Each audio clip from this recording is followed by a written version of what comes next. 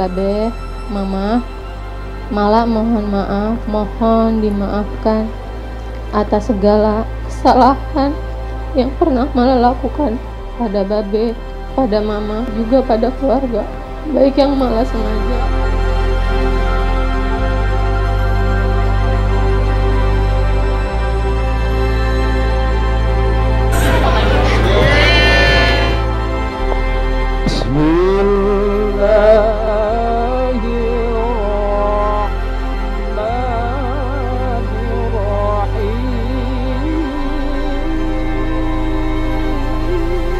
Saya terima nikahnya dan kawinnya Malano Pitasari binti Haji Agus dengan mas kawinnya perhiasan emas 12 gram tunai.